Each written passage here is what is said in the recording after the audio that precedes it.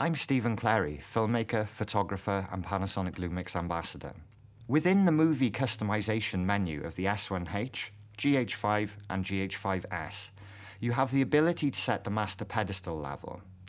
The master pedestal control allows you to customize the black point of your camera. As standard, the camera comes with a default value of zero. By moving the master pedestal in the positive direction, you will lift the blacks, and by reducing it, you will reduce the black point, and you'll make the shadows darker.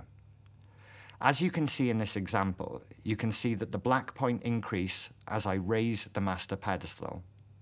This setting is extremely useful for multi-camera setups, where you need to synchronize the black point across various brands of cameras. It's also useful for live broadcast scenarios, where you need to bake a particular look into the footage in camera. To change the master pedestal setting, simply go to the movie menu. Use a non-log or HDR profile, such as CineD. At the bottom of the Image Quality 1 submenu, you can select the master pedestal level, and you can make changes to the value. And that's the master pedestal controls on the Lumix series of cameras. Panasonic.